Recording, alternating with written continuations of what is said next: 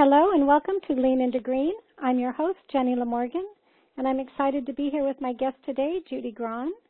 And I'll introduce Judy and talk about who she is, but first I want to share a little bit about Lean into Green for those of you listening for the first time. At Lean into Green, we learn from some of the best experts in this field of green lifestyles, and you will discover how going green enriches your life, your health, your wealth, and your happiness in so many important and inspiring ways. And you'll learn the many impacts that your own green lifestyle makes on the planet and on peace and lasting sustainability. You will deepen the way that you understand and experience your own green lifestyle. And that's what Lean into Green is all about. I'm a green entrepreneur and owner of greenwomanstore.com. I've learned a lot interviewing our green lifestyle experts, and I know you'll be glad that you've listened in. So let me tell you about our guest today, Judy Grahn. Judy is an amazing poet. She's a writer and author. She's a teacher and professor and one of the founding mothers of the lesbian movement here in the United States. Judy co-directs the Women's Spirituality course. It's a master's degree course at Sofia University. This is a two-year women-centered program which meets online throughout the academic year and for three residencies held on campus in beautiful Palo Alto, California. Graduates use their degrees as a catalyst for change in themselves, in their communities, and in the world. Welcome, Judy Grahn, to Lean into Green. Well, thank you so much, Jenny. I'm really glad to be here with you today. And I'm glad to have the, the pieces that you bring um, to the to the dis- discussion uh, conversation on sustainability. So let's start with women's spirituality. Spirituality. When we say women's spirituality, what are we talking about today in our conversations?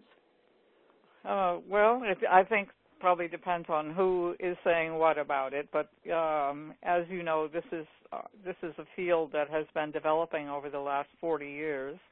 Uh, it grew out of grassroots uh, and also academic women uh, wanting some kinds of changes from what they began very early on defining as a patriarchal world that we've been living in uh, and that continues to spread around the world. So we wanted to know what um, contributions women had uh, ever contributed to uh, spirituality and to human culture. So um, hundreds of people engaged in all kinds of research and uh, wrote books and uh, surfaced with all kinds of uh, graphic material. So uh, we learned then that we have a history that goes back behind the patriarchy, that there are historic moments when the patriarchy started, uh, and that um, well, patriarchy has contributed a great deal in the way of culture the fundaments of culture belong to women uh, and started uh, before that or continue in uh, certain uh, tribal uh, organizations that continue to exist where women are looked to as um, people who engage directly with the spirit of the world uh, and who have a particular connection to nature. This, this is not saying that men don't have connections to nature, but the connections that women have to nature are uh, deeply mythic and they're deeply embedded in people's cultures. When people say all my relations, you know, they're talking about a relationship that uh, has been uh, cut off uh, by the patriarchy. So spirituality is a kind of a pantheistic uh, movement, uh, and people can come into it from any religion and from any point of view or no religion at all, and they're looking for what is spiritual, which is to say what is immanent and energetic in nature, between nature and humans. Are you still there? yes, yes, yes. No. That's a long answer, I know, but well, but it it gives us um, an understanding of of what women's spirituality encompasses, and um, and it and it is uh, a part of so many different traditions around the world that we um, I know science is showing us through new archaeological digs and reinterpretations of old digs, um, how we lived in connection with nature for tens of thousands of years. And that's what you're talking about. Your life's research and life's work has been all about uncovering these ancient connections and then teaching us how quite naturally and instinctually we carry these lifestyle connections forward today. And um, I believe that what we're calling sustainability today is in fact our ancient way of living um, in respect of Mother Nature, Mother Earth. So, um, are we remembering these ancient roots and is going green in fact our ancient spirituality and way of living um, from your research? Yes, uh, and it takes both. It takes uh, contemporary scientists who are uh, moving ever closer to reconnecting to some of the uh, older wisdoms, but they're doing it with a brand new set of tools and a set of approaches. Um, but uh, standing directly in back of them are uh, all kinds of women-centered uh, wisdoms of various kinds that were and are uh, deeply connected to nature. I mean, my own idea about it is that, uh, and I'm not alone in this, that we just we do better. We make greener choices. We make um, more earth-centered choices when we have ways to really identify with nature. Uh, and we have been cut off from that for such a long time for certain, I think, patriarchal reasons. Just um, just to take an example, just to think of of microbes and the work that's being done now to uh, help us work through um, the prejudices that we've developed in the last 50 years toward microbes. We, people couldn't see microbes until there were microscopes, and then immediately they were identified as enemies, as something that would cause an illness, and therefore antibiotics uh, rose up. And now science is understanding the need for probiotics, uh, which is to be mm-hmm. for um, the little beings and to be in favor of them because we're understanding that they uh, help us live and inhabit our lives and we inhabit their world rather than that they have invaded our life. Which, you know, when I say that invaded, I'm using um, I'm using a metaphor from war, um, which is it's a male ritual, and it's so much the way that Western culture has learned to think about how to solve problems through um, through warfare. So to attack illness has uh, you know long been something that um, is in our vocabulary, and we need to change that because that's not reality. is not helpful. Um, so that that's just one example, but there are of many that could be used. Well, and I think it's an example of how science is changing our reality. It, the science, it, I call it Patra science, that the science that we have today, and it's coming much more full circle now with Matra science or the science of, of ancient times that included nature and that included the wholeness of that spiritual experience. Right, and of, of once once you have connected to a spiritual connect connection with nature. It's understanding that it's not nature in some abstract sense, but rather it's the beings that surround us every day, all day long, all the time, that um, that live, you know, right outside of our door, or that uh, have branches that hang overhead. That to understand these as beings and to connect with them in any way that we can, any way that we can go about trying to help ourselves identify as living uh, not in an alienated mechanistic world, but in a very, very alive world that's full of intelligent beings, many of whom are trying to even connect with us, and some have just given up uh, because of the this, the disconnections that have gone on. Mm-hmm. So, any ways that we can help each other make those connections, um, you know, without going crazy every time a tree is cut down, is going to help us make many more uh, good decisions uh, and cho- and lifestyle choices and so on. I, I like the quote of yours when you say we must go back to go forward.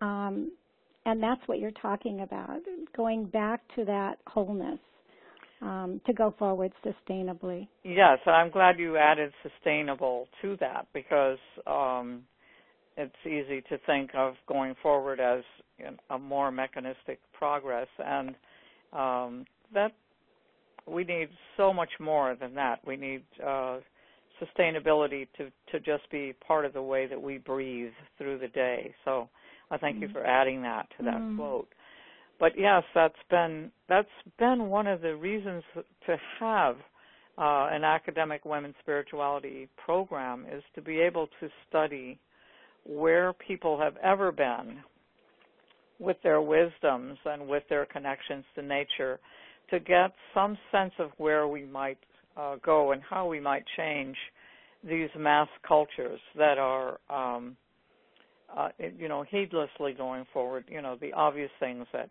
that people know about of, uh, you know, being driven by uh, imperialist capitalisms of various kinds, and that's just not good enough. It it just isn't. Um, it isn't giving us the kinds of lives that we need, and it's putting us right now into a crisis economically many economically people. and our food systems. Uh, yes, and the know. food system uh, and the the illness system, the uh, the phenomenal, um, yeah. which there, you know, I'm I'm thinking about the uh, the obesity ac- uh, epidemics that are being recognized as part of uh, the world that seems to go hand in hand with an overuse of antibiotics.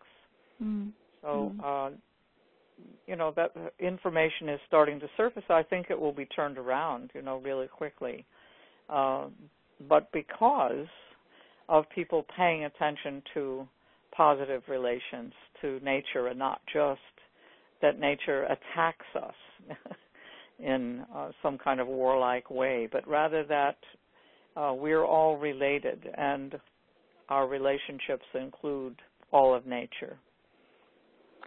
You know, this issue of being in relationship with and and having that be something that women in general um, are very prone to incorporate into all of our decisions and, and lifestyles and way of going forward.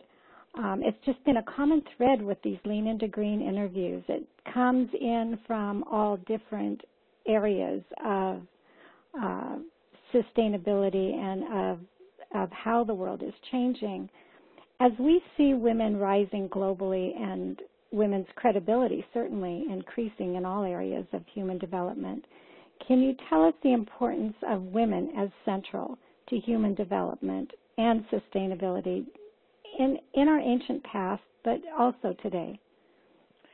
Oh, that okay. that's such a that's a two-year question, Jenny. But um, but the centrality of women, you know, totally it, the centrality of women, and the reason why uh, I would devote so many years to being uh, part of a very exciting program that's teaching women-centered knowledge is exactly that. Uh, for one thing, women-centered knowledge has been suppressed for at least 400 years in the West and probably much longer, um, but certainly for that long, uh, in the interest of men developing their own sciences, which they've now had their uh, chance to do that, and we've looked at it and decided that now it's time for women to step forward once again. But um, you know, as I know you know, in exploring uh, menstruation, I decided to explore menstruation a long time ago uh, because my mother was interested in science and I wanted to know how women had contributed to science and to human culture. And I thought that menstruation would be a good place to begin because surely I thought calendars at least would be attributable to us. This was like back in the 70s. Um, and then just doing about 20 years of research with that, uh, what fell out was an entire uh, new origin story um, uh, which I wrote down in a, in a book, Blood, Bread, and Roses, how menstruation created the world, that credits uh, menstruation with having created human culture. Um, not women alone, but uh, quite remarkably, men and women together developing blood rituals, but that stem from the connection uh, between women's uh, menstrual cycle and other cycles of nature. You know, most obviously the lunar cycle, but uh, they synced up with other cycles as well. And then they uh, started pulling our culture out, out, outside of ourselves in these magnificent ways uh, to contain their knowledge, uh, and using seclusions of women together and of men together uh, to help create culture. And these were like these little womb-like seclusions um, that began uh, containing all manner of uh, of bits of human culture that have accumulated over time. So uh, I find that so exciting, uh, that kind of uh, research that is possible with this, because the um, the material uh, and linguistic and, and so on and gestural uh, evidences of it are all around us. Every single lineage uh, can connect to this idea without very much uh, deep digging at all. You just need to understand how to use the theory as a kind of, of decoder to find all manner of ways that women have uh, impacted culture from a long, long way back. The elements of culture, like uh, simple things, like just connection with the plant world, for example. Um, it seems evident now that uh, ancestral women saw certain plants as being just like themselves, as being menstruating mothers.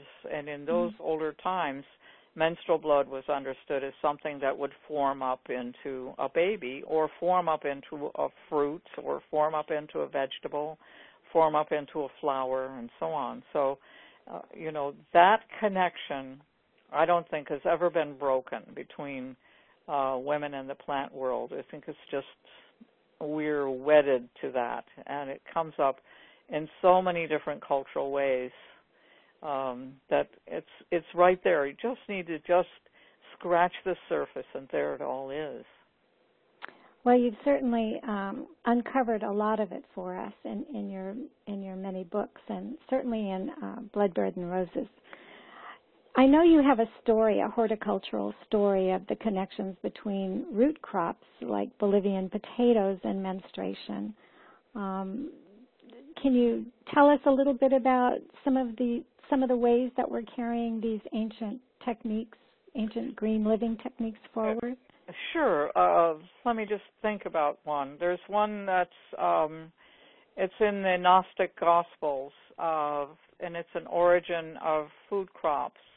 Uh, that I immediately I, I recognized it as what I call metaformic. You know, I I had to make up a term for what these uh, sort of idea ideas were that were contained in bits of culture that also were connected to menstruation. So I made up this word metaform. And um, just as one example, um, there is an account, and it's called a, an origin story, um, that uh, virgins uh, spilled their blood on the ground, and from from these grew figs, uh, grapes and pomegranates. I think those are the three crops. Uh, and that that's confirmation of my suspicion that people were were drawn to these plants and therefore began to take care of them as if they were relatives by bringing them home and dressing them and watering them and feeding them and you know petting them and tending them and giving them offerings and so on until horticulture was uh, created. So that that was just that's one example of a confirmation because the blood of virgins can only be menstrual blood. This is not sacrificial blood. It's not saying somebody cut them, but rather they had their own blood, meaning they had come of age. They hadn't yet had a baby, so they were virginal, and they um, they were using their menstrual blood to feed these plants. But there's also, beyond that, there's also that these plants were understood as menstruating in and of themselves. It's most obvious with grapes and uh, pomegranates. But uh, there's also these kinds of connection with all kinds of other uh, other plants, cacao and uh, cola bean and um, cho- you know um, coffee and uh, all manner of things that actually in in their natural form they aren't even food, but they were attractive to our ancestors uh, who began to uh, tr- treat them, process them in similar ways that they were doing with themselves to regulate their energies. And horticulture came of that.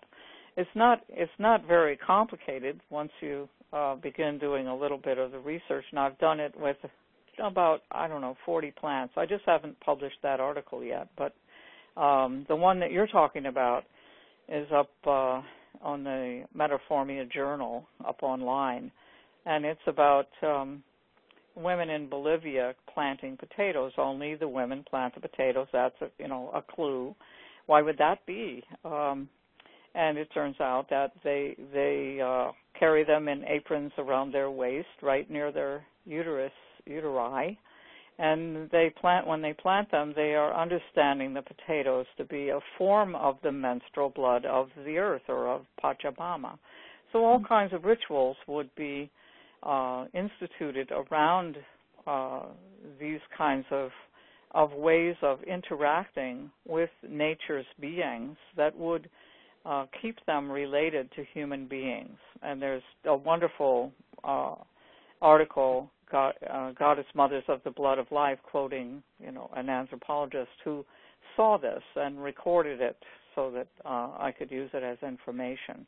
I don't mean she did it so that I could do that, but I mean I'm grateful that she did it so that then I could use it. You see. And you could use it. Another example of that of, of women connecting in relationship being in, relationship, relationship, you bet. When uh, okay. when women go to various places and uh, women who can record things go and ask questions of women, women centered knowledge then surfaces and becomes a way that uh, Western women can stop being quite so alienated and so male identified as we have been in the past. And that's exciting.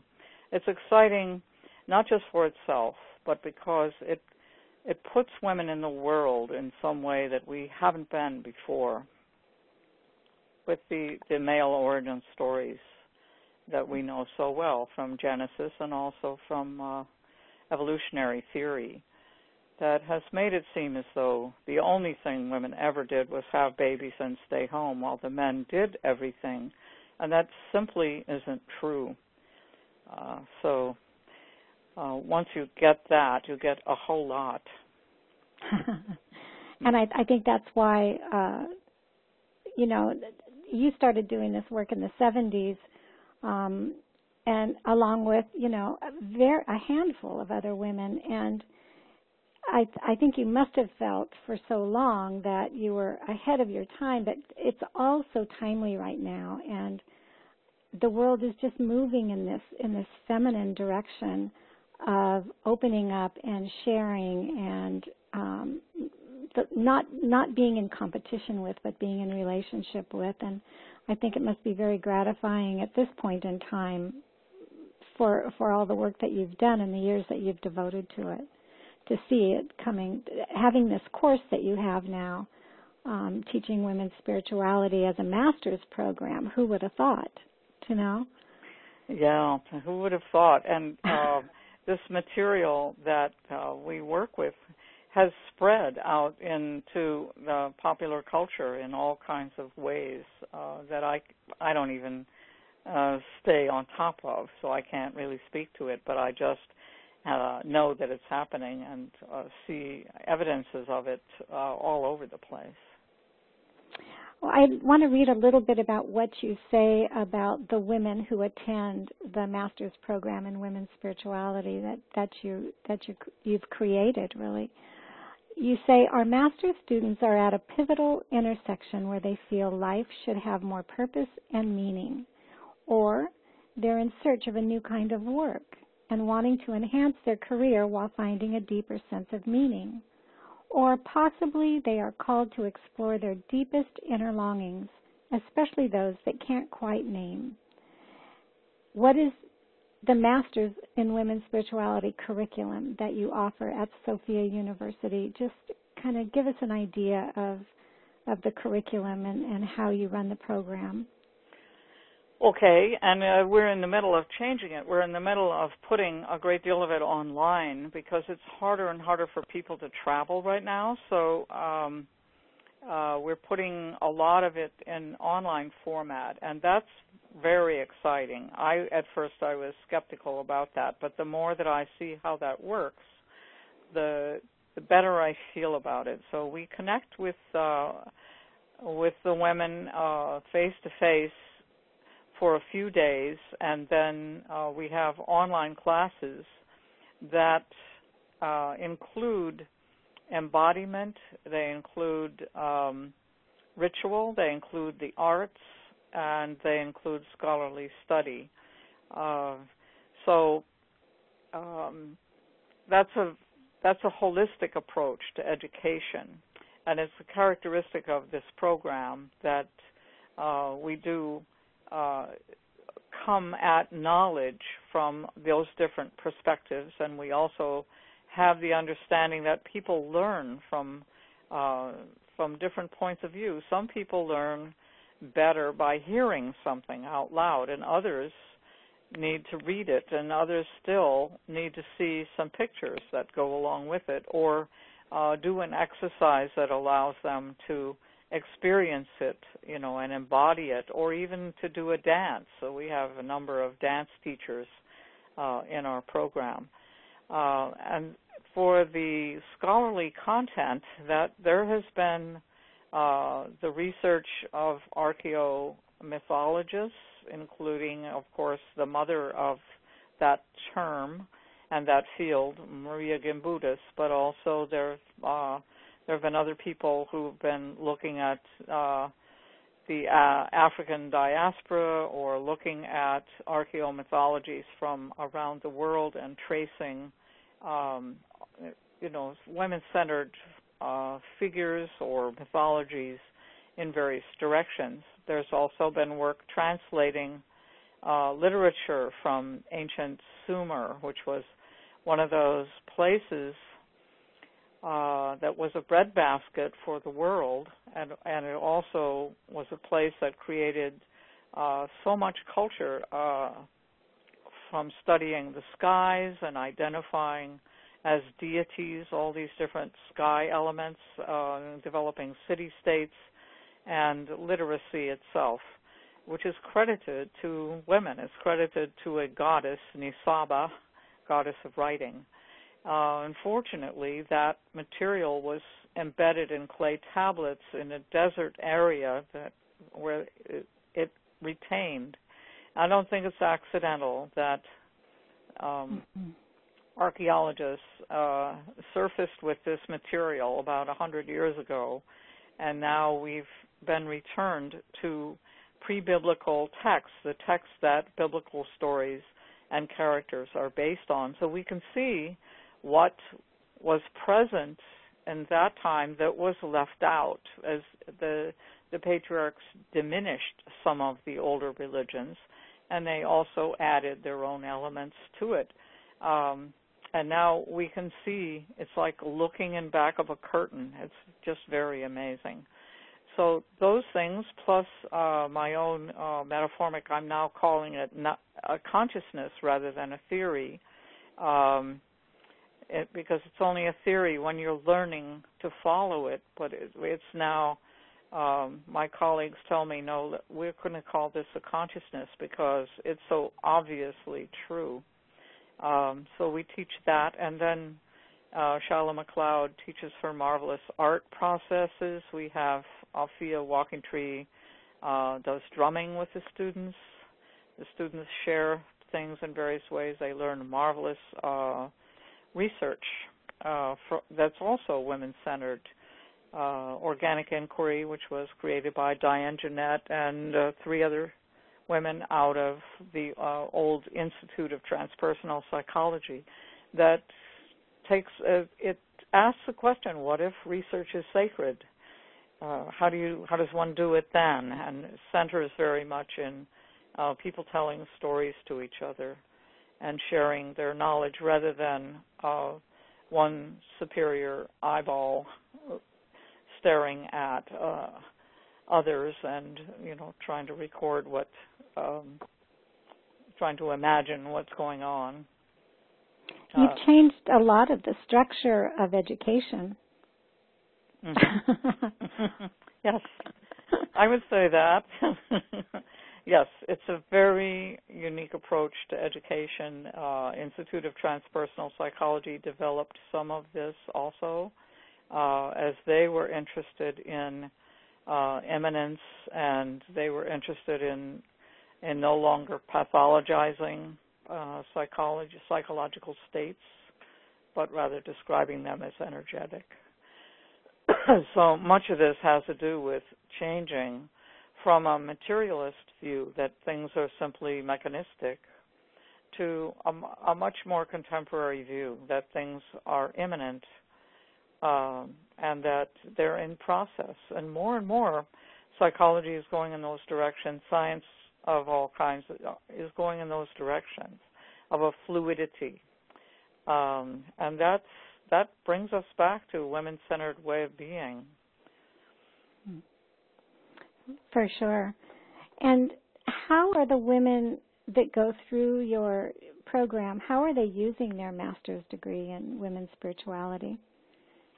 Um, let me just check here. I have a couple of things um, of what what some of our students are doing besides uh, Rekha Kurup is uh, off in India saving uh, trees and uh, working with NGOs, and she also uh, works with children. Had a really, really successful program here in the Bay Area with about eight different um, schools, um, pr- uh, primary and secondary schools, teaching those children mindfulness in a way that actually worked, and they, the uh, incidences of violence dropped from something like 600 to something like eight. You know, I'm I don't have the figures right in front of me, but it was an astonishing turnaround.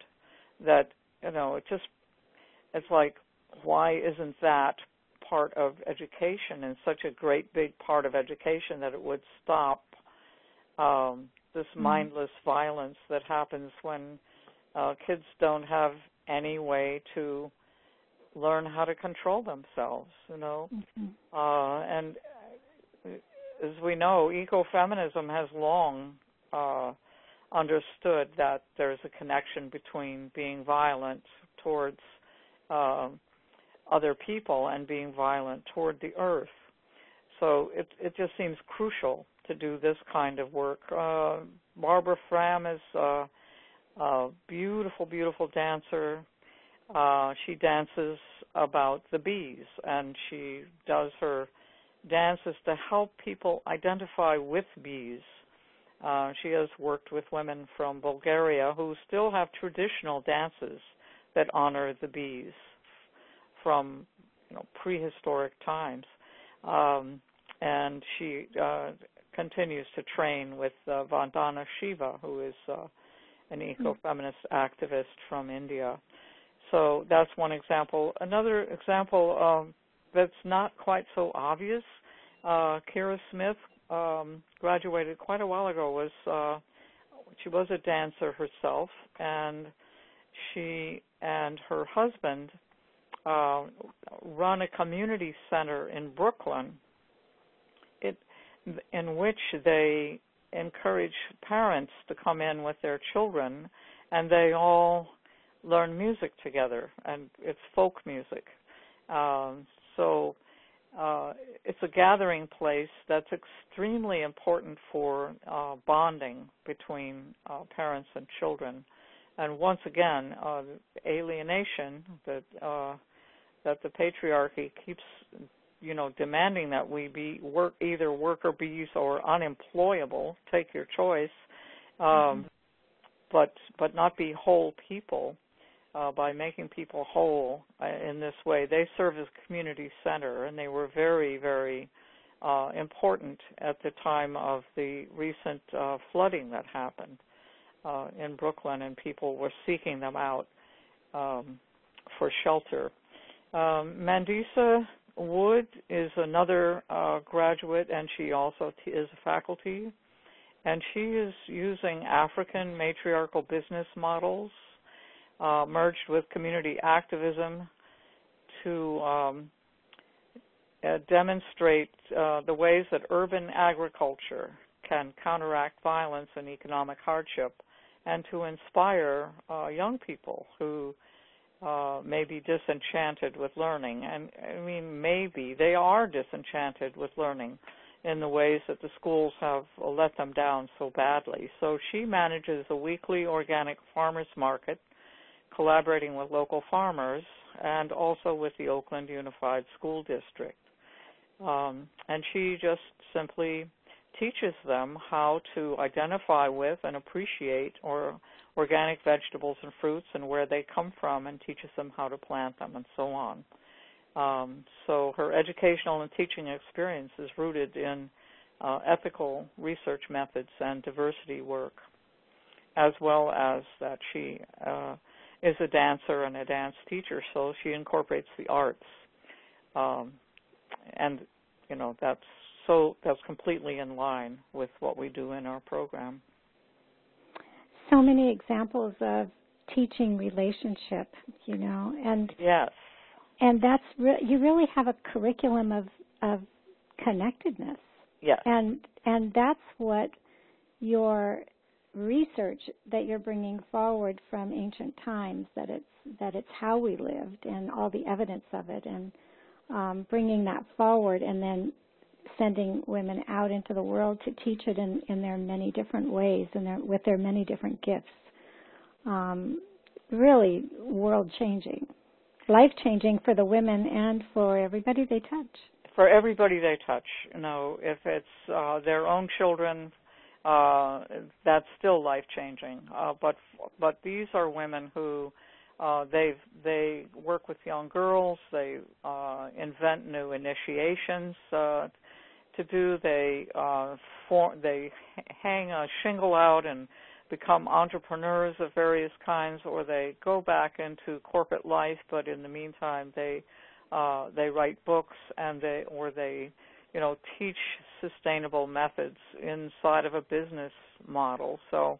Um, or or they go on to become psychologists, but it's but it's psychology with a broader perspective uh, mm-hmm. because of having gone through our program and so on. So, uh, and there's there are infinite examples that I could give of uh, artists and um, and writers and painters and dancers and so on, uh, and and and these people may also hold corporate jobs, or they may decide they can't stand that anymore, and so they uh, they go in the direction of what you might call NGOs or um, you know, nonprofits, um, as women have always done. You know, a life uh, sharing knowledge with people and uh, learning how, in this American context, people can take care of each other in much better ways and make better decisions. Hmm. I know, Judy, that you travel to Kerala, Indian, India, um, and I know you've done that for several years and I I think you must have a group of women that you're familiar with there that you that you go back to and work with. Um, and I really don't know anything about your work there. Do you want to share a little bit about that with us? Well, I go. It's my great privilege to go. Uh, I think my colleague Dianne Jenett is somebody who has worked there. Um, she studied. We we did co-research together uh, to get our to, to get our PhDs in women's spirituality, and we uh, you know, we held the camera for each other and stayed awake through the heat to uh, remember which questions to ask, and so I had a fabulous time uh, embedding ourselves in a community where we were completely dependent on the neighborhood women. Um, and I was researching. I, I wanted to know if there was a connection between goddess rituals and menstrual rituals, which there certainly is.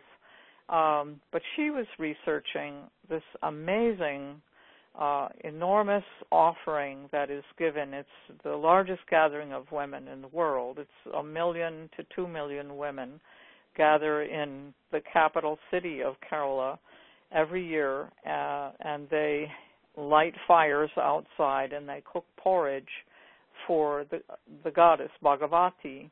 She wanted to know why, um, and in doing that research, uh, she um, uh, we just we just interviewed so many different people and got to know so many different people, including a group of feminists who were there and some uh, some people who remain you know lifelong friends.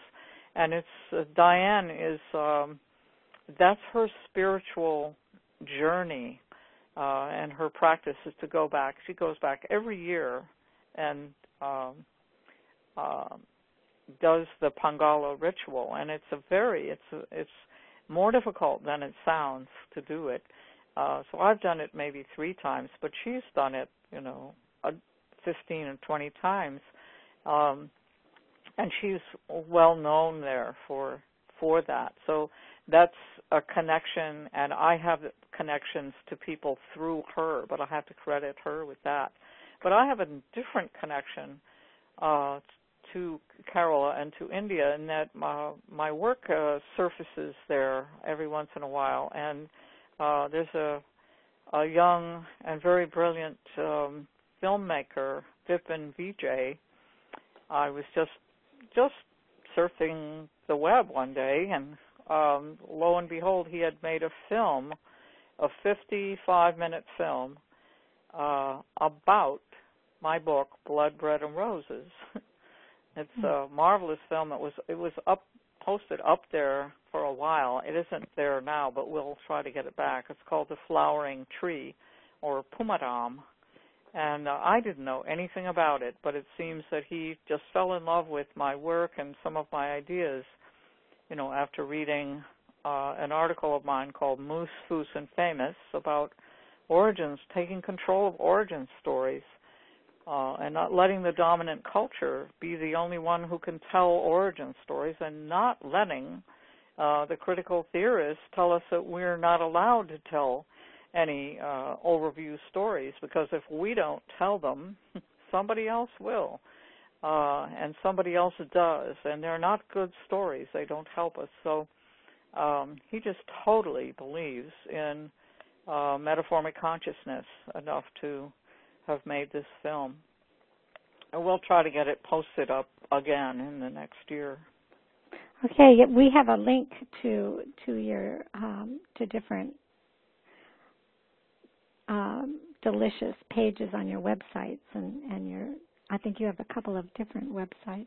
Oh, great! Yes. Well, the yeah. the website that I I recommend people look at is you know met, the Metaformia Journal because it's got I don't know, eight or nine articles up there. Uh, and you keep it pretty current, it looks No, like. I don't keep it current at all. I'm just, my attention is just always pulled off in so many different directions. I wish I could keep it all current. Uh, but I do my best, you know, I try to do my best uh, to do it.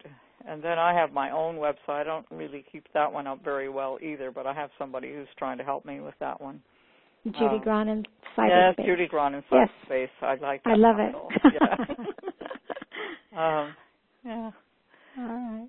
So now I, you you have written so many books. Um, I have to say that your modern day descent myth, Queen of Swords, I love that. It's um, you know, there's parts. You're such an amazing poet. There's pieces of your poetry where I can feel the shift you know your your poetry is so truthful and it is it's transformational so there's there's parts of that of that book of that book is an entire poem, um, and it's all about how women experience that monthly descent into our what we call depression or the need mm. for hibernation. Mm. Um, so here we are at and at fall equinox.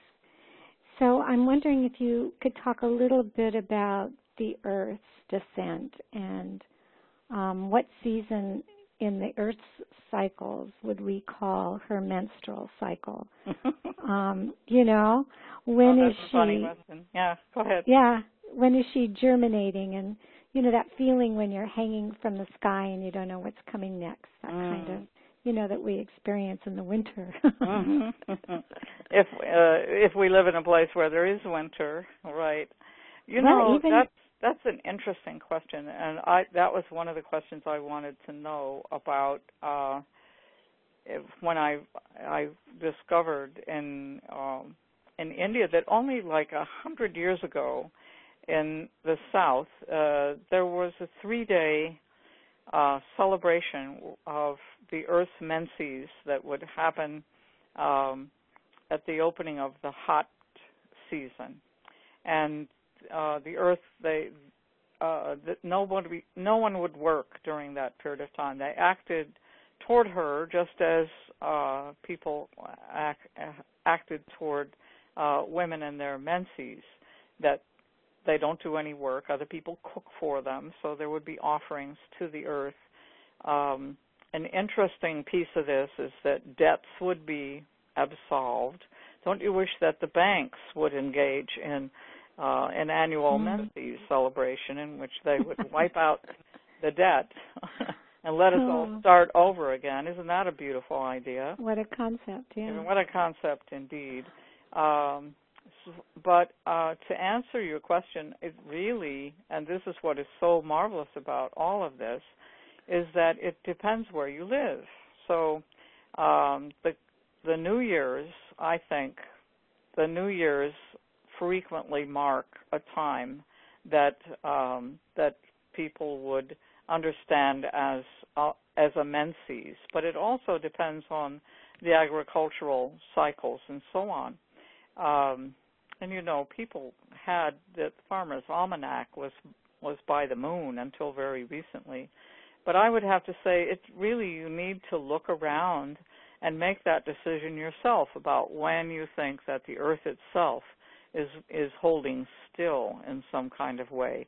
And it might be um, at the time of of darkness or it might be the time of incredible heat. It would depend on what you were using this whole idea for. Isn't that marvelous? It's not fixed in any way.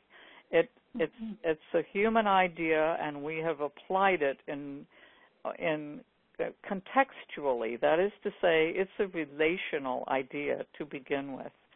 So, uh, for for Christianity, that time is Easter, when the God dies and is reborn three days later. So you can you can see in back of that, uh, you know, Eostre and Ishtar, and uh, and the refurbishing of, of Earth in springtime. But in Kerala, this would have been at at the time right before the rains came, and the rains would have been this very important piece of what was happening uh, with the Earth. So it, this require this isn't mechanistic at all. It really requires us to understand what does the earth need. You know, is this the time that we need to be uh, watering everything, including the wild trees nearby, um, because uh, it's the dry season, or because it's a drought is happening because of global warming, or because of just seasonal changes.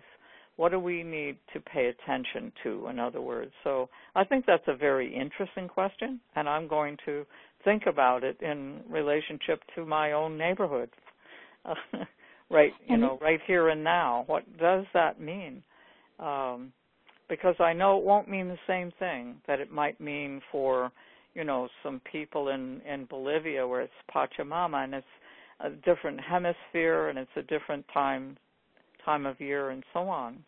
Mm-hmm. Interesting, and huh?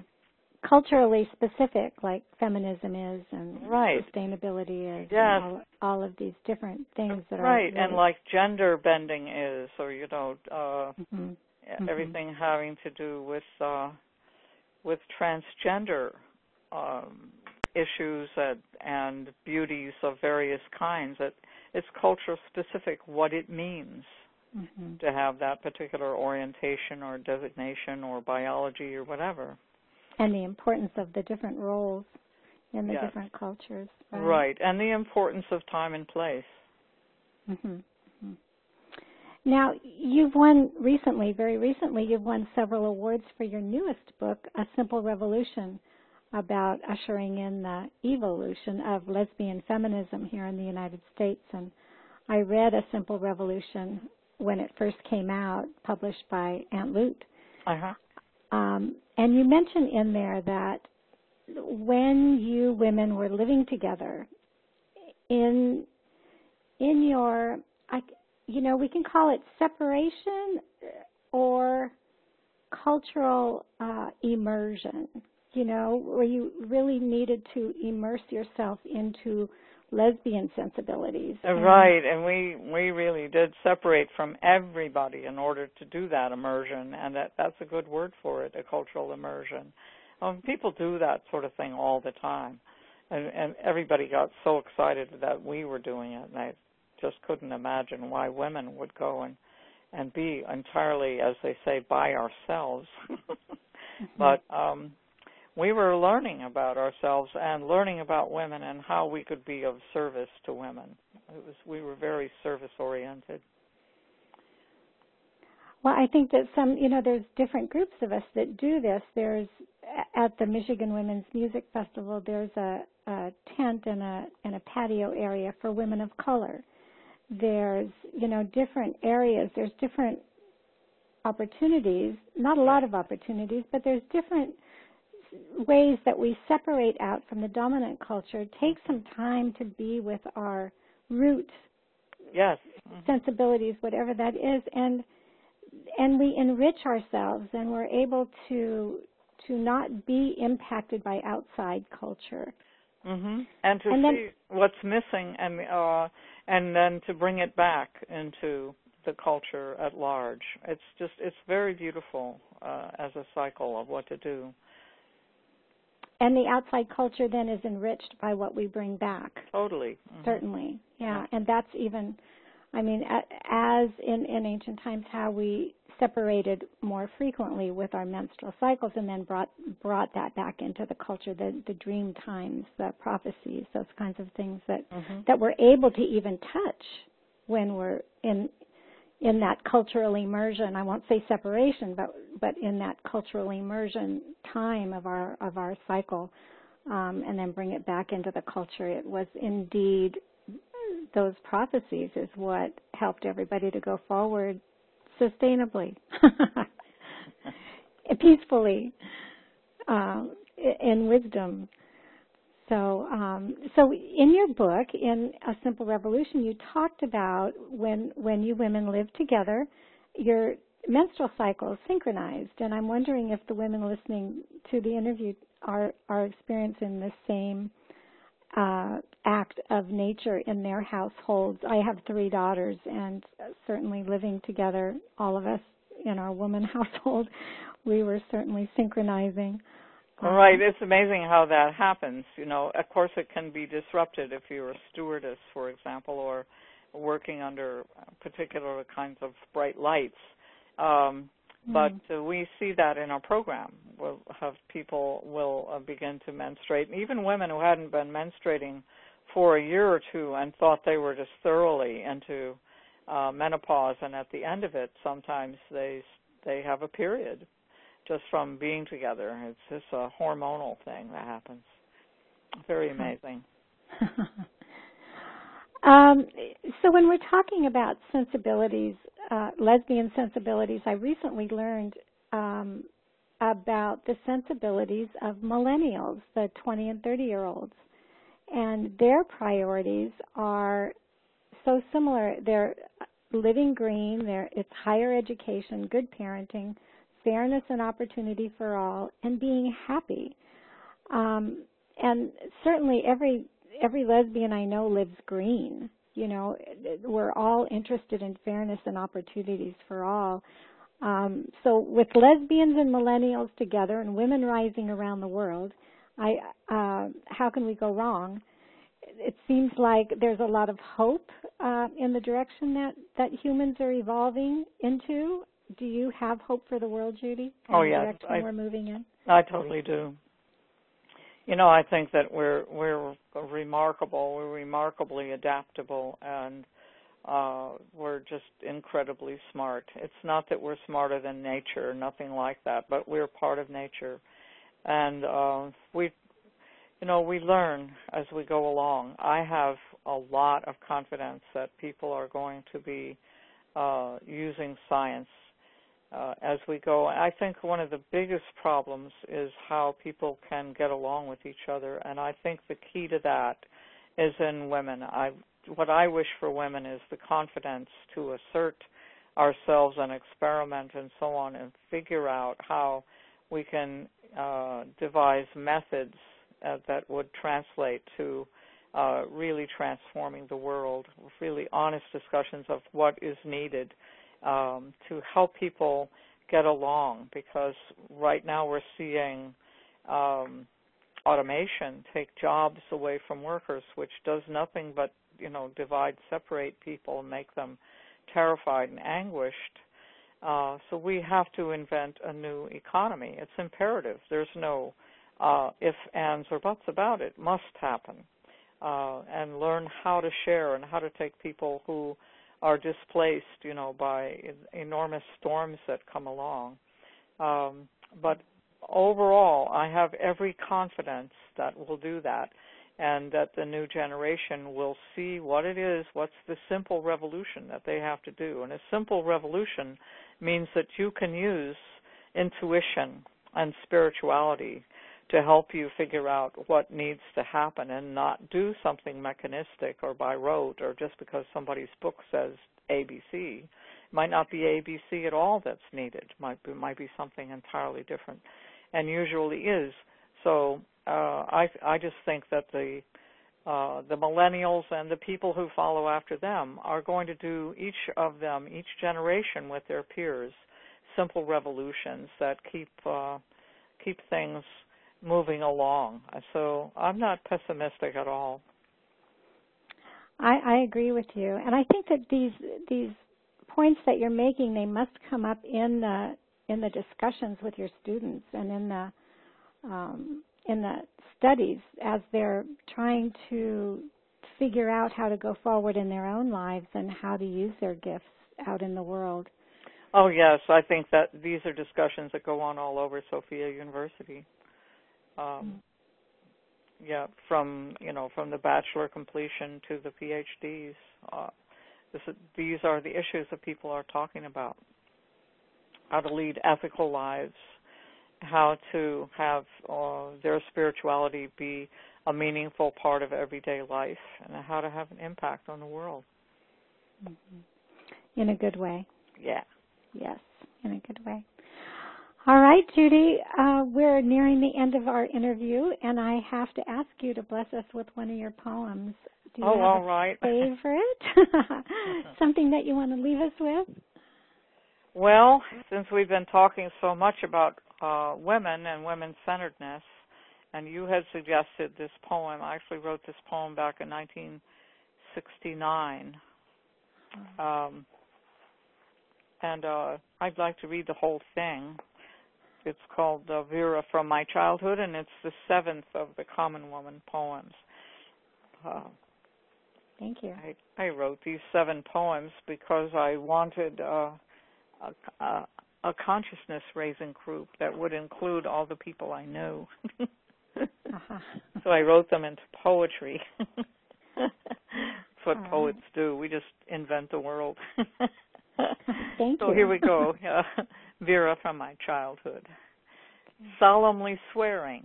To swear as an oath to you who have somehow gotten to be a pale old woman.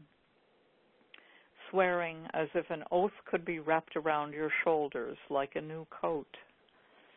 For your $28 a week and the bastard boss you never let yourself hate. And the work, all the work you did at home where you never got paid. For your mouth that got thinner and thinner until it disappeared as if you had choked on it, watching the hard liquor break your fine husband down into a dead joke. For the strange mole, like a third eye, right in the middle of your forehead. For your religion, which insisted that people are beautiful golden birds and must be preserved. For your persistent nerve and plain talk. The common woman is as common as good bread, as common as when you couldn't go on, but did. For all the world, we didn't know we held in common all along. The common woman is as common as the best of bread, and will rise, and will become strong. I swear it to you. I swear it to you on my own head. I swear it to you on my common woman's head.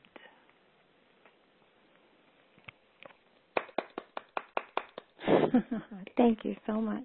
You're welcome, Jenny. Thank, thank you, thank for you. interviewing me, letting me talk on and on like this. Well, it's beautiful. It's beautiful. And um, so I want to just go over some of the links that we have for you. Um, we have Judy Grahn in cyberspace, and you can find that website at judygrahn.org. That's Judy, G R A H N dot org. And we have a link for the Masters in Women's Spirituality program at Sofia University. And we also have a link for uh, for Judy's book Blood, Bread, and Roses, and uh, and for her newest book, A Simple Revolution: The Making of an Activist Poet, and that's at auntlute.com. And also for your article on uh, ancient horticulture in Metaformia. So that's Metaformia, M-E-T-A-F-O-R-M-I-A dot org. So we have all of those links available, and I just want to say thank you very much for all the work that you've done in the past and all the great work you're going to continue to do in the future for sure. thank you. Thanks a lot, Jenny, uh, and uh, thank you for uh, everything that you're doing on Green Woman Store uh, and for um, you know your uh, your love of sustainability and what you're doing for it. Thanks a lot. And thank you, thank you, Judy, and thank you for keeping our ancient teachings alive through your master's course, and with your poetry and with your books. So I want to say um, thank you to all of you who are listening and who joined in for our talk on Le- at Lean into Green. Going green is a journey. It's a personal journey and a collective one and you may want to invite your family and friends to listen in as well.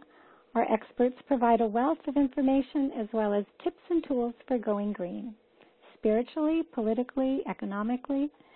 I hope you will take some time to make leaning into green a priority in your life, and I hope that we've inspired you today to go green in many new and rewarding ways. Keep listening as we all lean into green a little deeper on our collective quest toward sustainability.